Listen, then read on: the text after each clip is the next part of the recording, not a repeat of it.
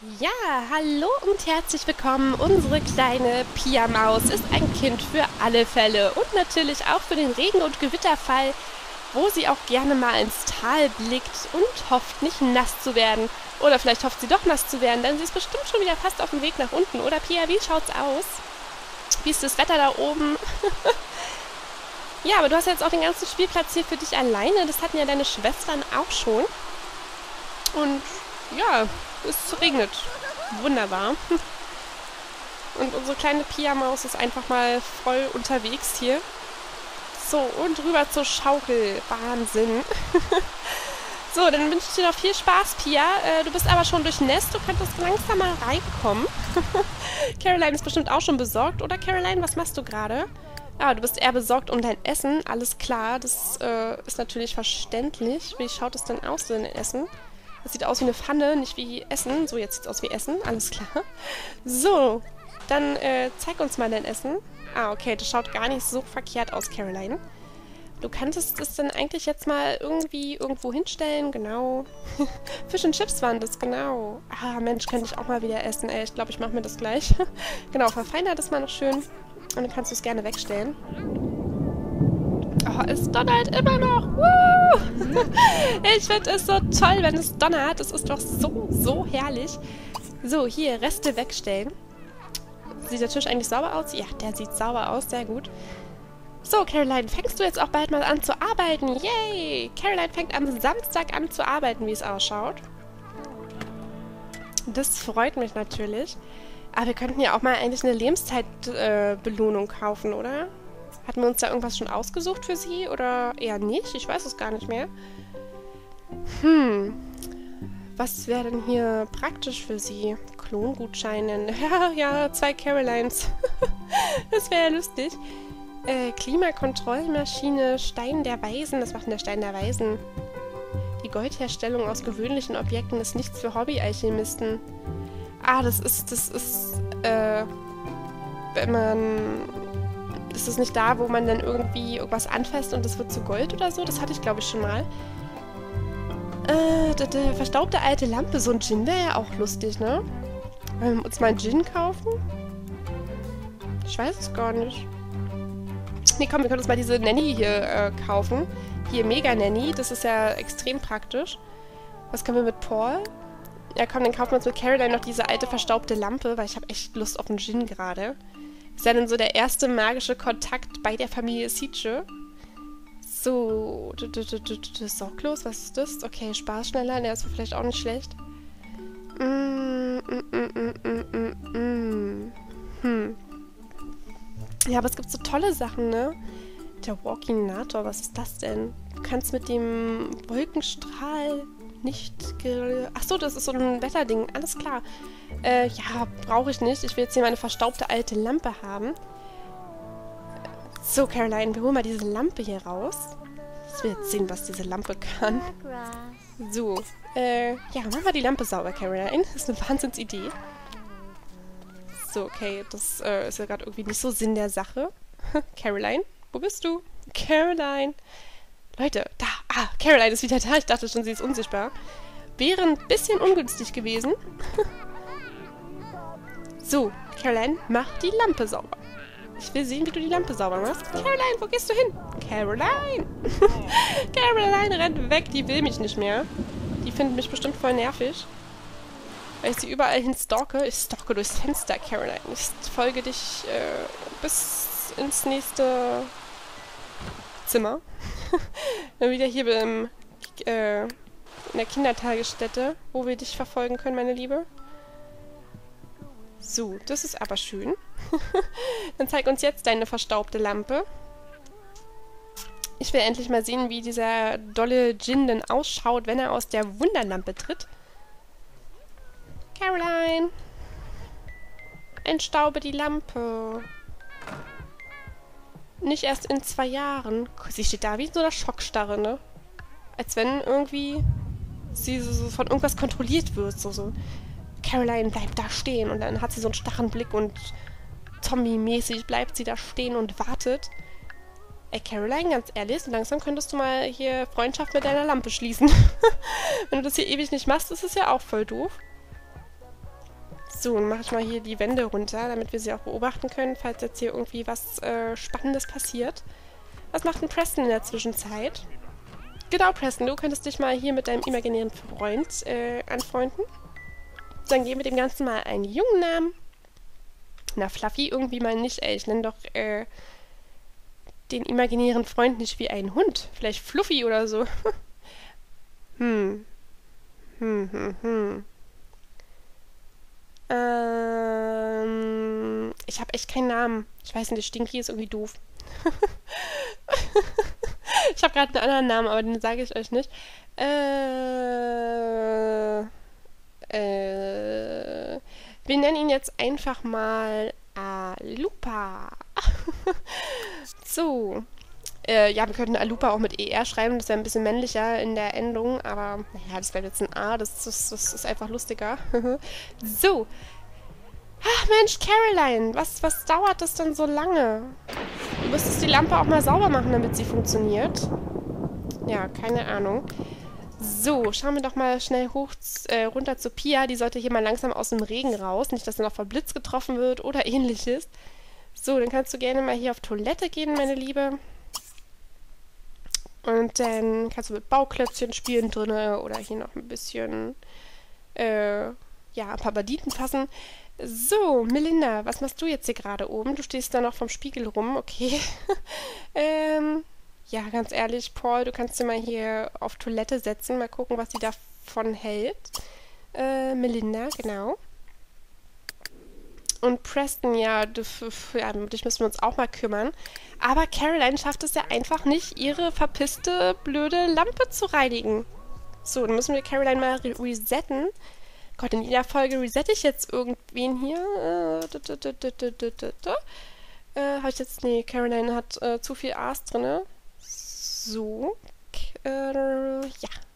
So, Caroline, deine Bedürfnisse sind dementsprechend schlecht. Aber immerhin bewegst du dich mal wieder. Das ist doch auch nicht schlecht. So, und jetzt äh, stauber mal bitte die Lampe. Funktioniert das jetzt mittlerweile? Das wäre doch mal echt ein Erfolg. Ohne dass du hier einfrierst und dich nie wieder bewegst. Caroline. Wuhu. Ja, wozu kaufe ich mir so eine Lebenszeit, äh, Lebenslaufzeitbelohnung, wenn das Ganze nicht funktioniert? Ist doch total bescheiden. Abgesehen vom Donner, der ist toll. so, also Caroline, deine Lampe hier vergessen wir jetzt mal. Die schmeißen wir am besten aus dem Inventar und machen so wusch. Die können wir ja nicht mal aus dem Inventar schmeißen. Ist das eine Pisse, ey, ganz ehrlich. So, wir resetten mal äh, die gute Caroline nochmal. So, Caroline, ich hoffe, dir geht's jetzt gut und die Lampe ignorieren wir einfach. Du kümmerst dich jetzt mal um deinen Sohn. Hast ja nur einen, Gott sei Dank. so, hier, kuscheln und danach kannst du ihn gerne mal auf den Boden füttern. So, Paul ist jetzt auch mit der Süßen da fertig. Dann kann er sie auch gerne nochmal auf den Boden füttern. Ne, Paul? So, dann kannst du mal schnell hier auf Toilette rüber Flitzen. Flitzen wollte ich sagen.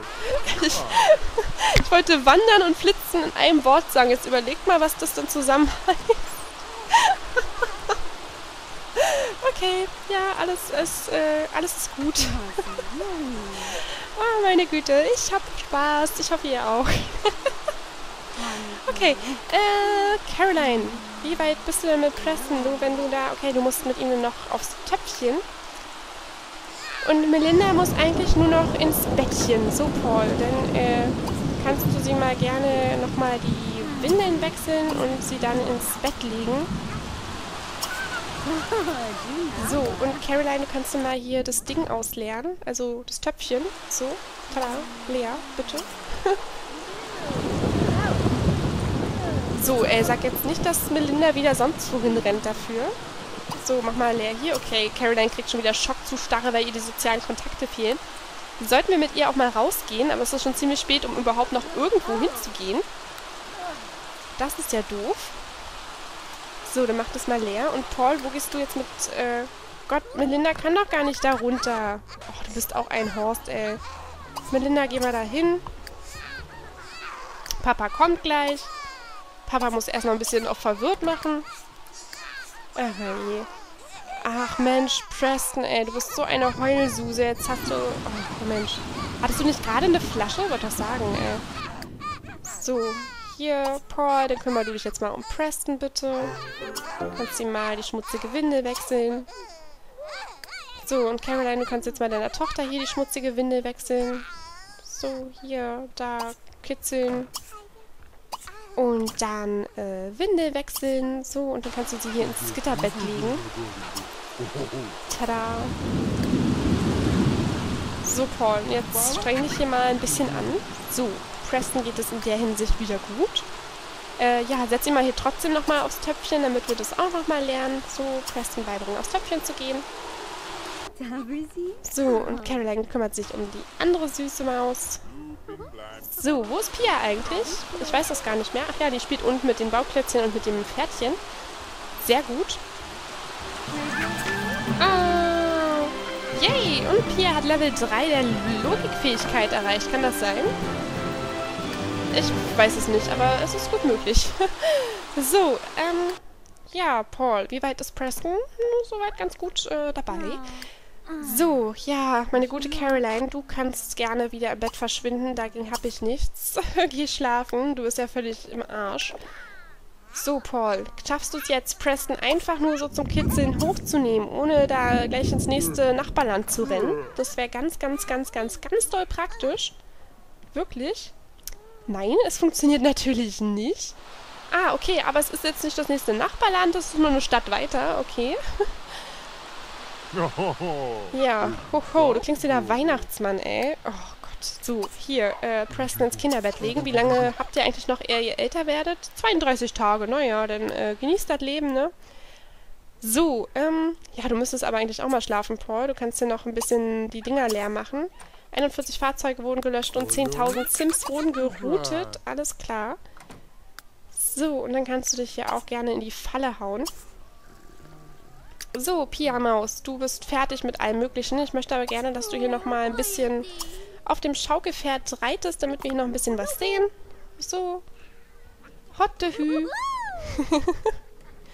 Ist aber auch niedlich, oder? Rastet sie erstmal völlig aus mit ihrem Pferd. Sehr geil. So, jetzt bin ich auf die falsche Taste gekommen. so, ja, ich fand's toll, Pia. So. Ja, dann kannst du noch schnell was essen gehen, hast ja recht. So, ran in den Kühlschrank und Reste essen. Fisch und Chips. Guten Hunger. so, und dann schnapp dir hier mal dein Bett. So, schlafen. Und dann ab in die Dusche nachher, wenn du wieder wach wirst. Paul, bist du schon im Bett? Nein, du kletterst gerade hinauf. Melinda, du bist am Schlafen und der gute Preston auch. Caroline ist auch schon am Schlafen. Sehr gut. Wie geht's denn unseren Tierchen? Piggles, der frisst ganz fleißig. Sehr schön. Dich müssen wir auch mal wieder bürsten, war Piggles? Das schaut schon wieder ein bisschen danach aus. So, was können wir denn noch mit dem machen? So, mach ich mal kurz Pause hier, damit wir mal ein bisschen äh, Ruhe reinkriegen in die ganze Sache. So, aber unser guter Grady, der räumt jetzt hier immer äh, alles weg, was so Knochen heißt und Piggles und Fieber irgendwo hingeschleppt haben. So, dann musst du dir hier ein neues Spielzeug holen. Kein Platz für neues Spielzeug bestimmt. So, dann gehen wir eine Etage höher und holen uns da irgendwo neues Spielzeug. Ist da alles gar kein Problem. So, äh, wo haben wir hier eigentlich neues Spielzeug? Das ist die viel bessere Frage. Hier haben wir welches. So, dann hol dir Spielzeug, mein Guter. Vollbeschnüffeln kannst du auch mal machen. So, Fieber, du musst mal zwischendurch ein bisschen deine Kontakte aufwerten. Kannst du das hier mal benutzen und dann kannst du hier drüben mal kratzen gehen oder hier unten am Katzenbaum, wie auch immer. Nee, nicht schlafen, kratzen solltest du doch. So, äh, kratzen, tada. und Pickles kann dich dann mal irgendwann beschnüffeln, beziehungsweise du ihn. Wo ist Pickles eigentlich? Ach, hier unten, so. Dann zu Fieber und freundlich und Kontakte knüpfen und sowas. Und äh, ja, diverses anderes Zeug. So, jetzt habe ich ihn gar nicht mehr gefasst gekriegt. Hauptsache, ihr kommt erstmal irgendwie beieinander. Das wäre doch schon mal echt wichtig. So, Caroline, wie lange schläfst du jetzt hier noch mit dem guten Paul? Eine halbe Ewigkeit, ich sehe schon. So, kleine Pia läuft jetzt auch ins Bett und schläft dann auch endlich mal. Irgendwann, das dauert ja wirklich ewig. Liegst du jetzt mal im Bett, Mäuschen? Das dauert ja wirklich ewig. ja, liegt bestimmt an ihrem neuen Outfit, was sie sich erstmal umziehen musste, aber das macht ja nichts. So, deine süße Träume, Pia. So, und Melinda und Preston? Preston, bist du wach oder was? Na, nee, du schläfst. Ja, vielleicht hast du ein bisschen länger zum Einschlafen gebraucht. So, dann schauen wir einfach mal zu, wie ihr hier noch ein bisschen schlaft. Aber eigentlich können wir für diesen Part auch Schluss machen, denn 15 Minuten sind um und die anderen Parts gingen ja jetzt wirklich lange diese Woche. Und äh, ja, ich hoffe, ihr hattet sehr viel Spaß beim Zusehen und wir sehen uns dann einfach beim nächsten Mal wieder. Bis dahin, ciao!